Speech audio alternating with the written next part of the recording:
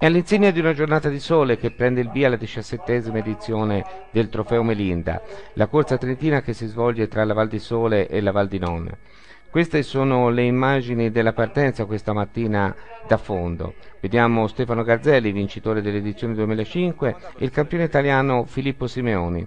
Qui si avvicendano gli uomini della NCC OTC alla firma, al fuorifirma, e, e qui è Franco Pellizzotti, reduce dalle Olimpiadi di Pechino. Via ufficiale dunque da Malè e il campione italiano nelle prime posizioni del gruppo. Una partenza contraddistinta da una velocità subito molto, molto sostenuta. Al chilometro 15 si forma l'attacco un gruppetto di 17 unità, comprendenti Stangel, Ackermann, Ungerbühler, Inoue, Camussa, Pagoto, Possoni, Pinotti, Cheula, Scotti, Niemec, Cattaneo, Dotti, Cairelis, Ferrari, Trafficante e Spilevski. Una fuga che si protrae ancora per pochi chilometri. Al, al chilometro 31 il gruppo tornerà compatto. Queste sono le immagini degli atleti attaccanti. Qui invece abbiamo il primo attacco serio, quello operato dal polacco della Mike Silvercross Niemec. Un tentativo molto importante che raggiungerà un massimo vantaggio di 2 primi e 45 secondi.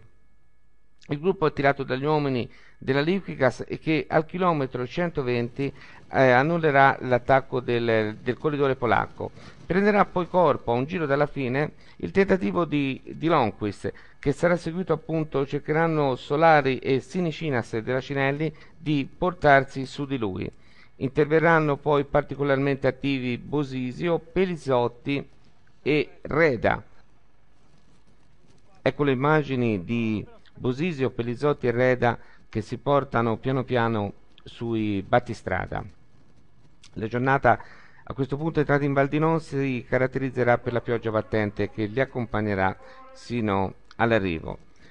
Fasi concitate agli ultimi passaggi al Gran Premio della Montagna. Sarà Pellizzotti che si riporta sull'Onquist e, e che praticamente tentano di avvantaggiarsi prendono un po' di vantaggi sul gruppo degli immediati inseguitori, la corsa si va via via facendo sempre più selettiva, sono, si registrano molti abbandoni intorno al gruppo e a mano a mano che si procede, ci si avvicina al eh, Gran Premio della Montagna di Ronzone, procedono di comune accordo Pellizzotti e Lonquist, alle loro spalle Scebelin, Bertagnolli e via via tutti gli altri.